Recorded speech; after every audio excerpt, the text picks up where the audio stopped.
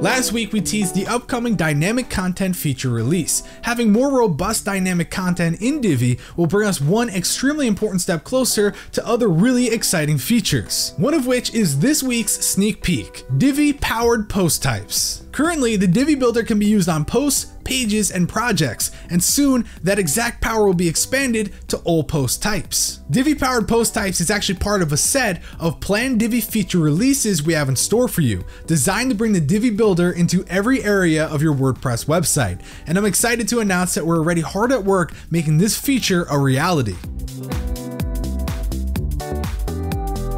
When we release Divi powered post types, you'll be able to enable or disable the Divi builder on any post type, whether it's custom built by you or powered by a third party plugin, all with a single click from Divi Themes options. The new post type management system being added to Divi Themes options will make it easier for you to work with the editor of your choice on your website's most important content, whether that's on event pages, product pages, course pages, or something else. When you enable the Divi builder on the post type of your choice, the Divi builder will be added to the main content area of that post type, making it easier than ever to design the exact layout you want for each and every piece of content on your website. When combined with other future feature releases like dynamic content, you'll be able to create dynamically updating Divi powered custom post type templates for every website imaginable. We're going to see new takes on Divi websites for car dealerships, online courses, job listings, events, and more. And that's not even counting all the possibilities you can create with custom post types and fields. The possibilities will truly be limitless.